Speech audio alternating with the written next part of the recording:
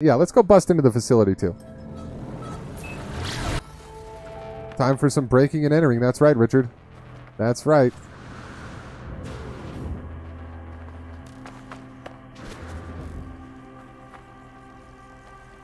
Oh, wait. Oh, I gotta change my multi-tool setup. Doing. Oh, look out! Wait, wait, wait. How can I bounce one up there?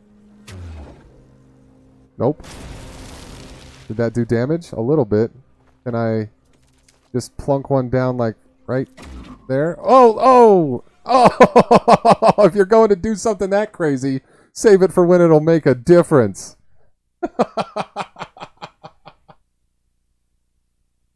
Praise Yogg, y'all. Praise Yogg.